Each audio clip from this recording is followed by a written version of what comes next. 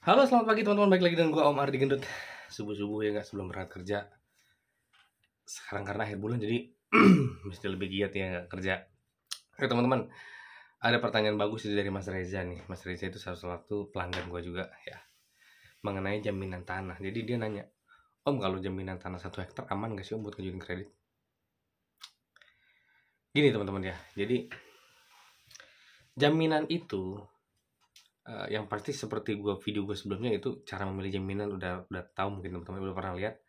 Cara bank memilih jaminan itu apa aja? Mulai legalitas marketabilitas ya, posisinya terus uh, ya banyak ada empat kalau saya kriteria. Dan harganya itu saja ya harga harga jaminannya seperti itu.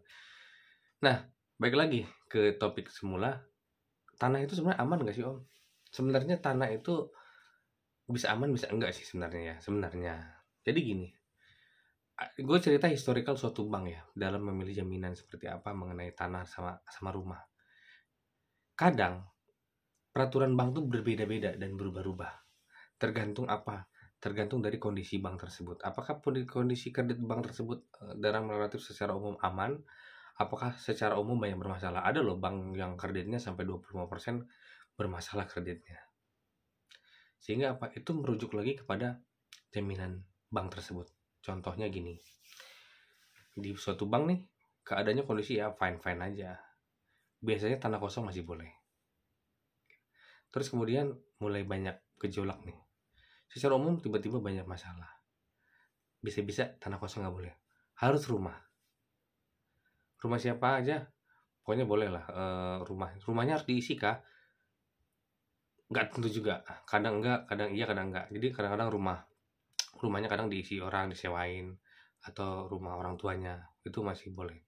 Tapi kalau kondisi ekstrim artinya secara umum kredit bank bermasalah bahkan yang hanya boleh jaminkan adalah rumah pemilik jaminan dan debitur. Jadi debitur dan pemilik jaminan harus orang yang sama dan harus didiamin lagi rumahnya. Itu kondisi ekstrim. Artinya gini pemilihan jaminan dalam suatu bank peraturan suatu bank itu kadang berkaitan dengan kondisi bank itu ya seperti gue bilang tadi Mas Reza nanya tanah kosong aman gak sih om? Kalau saat ini ya kondisi saat ini bank kondisinya lagi ya lagi fine fine aja itu mungkin boleh. Dan pasti boleh sih kayaknya mah tapi pernah di tahun berapa gitu jadi bank hanya jaminannya hanya rumah debitur milik sendiri dan didiemin. Didiemin sama debiturnya jadi kasarnya rumah debiturnya. Baru boleh jadi jaminan. Nah seperti itu teman-teman. Jadi uh, pemilihan tanah atau rumah itu tergantung kondisi bank. Nah, itu kondisinya kalau uh, berbeda kondisi. Nah, kalau kondisinya kayak sekarang nih, fine-fine aja nih. Tadi tanah aman dong, Om. Uh, ujungnya tergantung penilaian bank juga sih. Artinya tanah boleh, boleh. Sekarang kalau sekarang tanah boleh, boleh. Tapi kondisi kondisi tersebut tidak terlepas dari penilaian bank. Artinya gini. Kadang gue gue pribadi gini. Pak, jaminan saya tanah kosong, Pak, di sana. Oke, kita kunjungan set oh tanah kosongnya kok agak dalam ya harus masukkan lagi harus ini lagi. Sementara usahanya kita yakin gak yakin nih kan. Orang baru juga baru ketemu kan. Transaksi juga nggak di bank kita. Yaudah deh boleh deh tapi kreditnya jangan segini ya. Bisa gue turunin. Biasanya mungkin kan nggak mungkin kan seperti itu. Atau nggak kenal nih dia nih. Datang kan wah usahanya juga ya yakin nggak yakin lah. Tapi tanahnya pinggir jalan pinggir jalan raya gede. Dan nggak jauh dari pemukiman hmm, kadang oh ya oke lah kita proses ya. Karena uh, ya marketabilitasnya tinggi banget lah gitu kan. Tapi kadang seperti ini. Wah tanahnya masuk jalan kecil agak dalam sedikit. Tapi orangnya kita udah tahu kredibilitas dia. Uh, di kampung itu dia udah punya nama ya enggak sampai di bank juga wah ini bapak haji ini nih misalkan ya. Ini pedagang beras termasyur pak. Paling oke okay. Gitu. Ya udah kita kasih. Nah ya jadi mengenai itu kadang-kadang jaminan. Sekarang kita bicara tanah.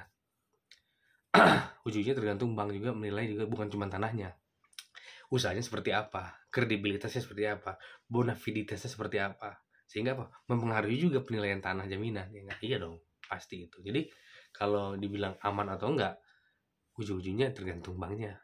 Aman atau enggak tapi sih sebenarnya kalau fine fine aja usahanya ya jaminan juga tanah tidak terlalu jauh dari pemukiman uh, aksesnya ada ya enggak baik-baik aja mah ya sudah mungkin bisa aman juga sih ya seperti itu ya. Apalagi kalau Mas Reza tanya bilang itu subscriber kita tuh satu hektar satu hektar gede yang penting ada akses ya. dan jangan terlalu jauh dari pemukiman ya karena itulah kelebihan uh, tanah berbangunan. Kenapa? Pasti dekat dengan pemukiman. Itu keunggulan tanah berbangunan. Nggak mungkin orang bikin bangunan jarang-jarang lah bangunan rumah gitu jauh dari mana-mana nggak mungkin. Pasti dia dekat sama pemukiman paling nggak ada punya tetangga.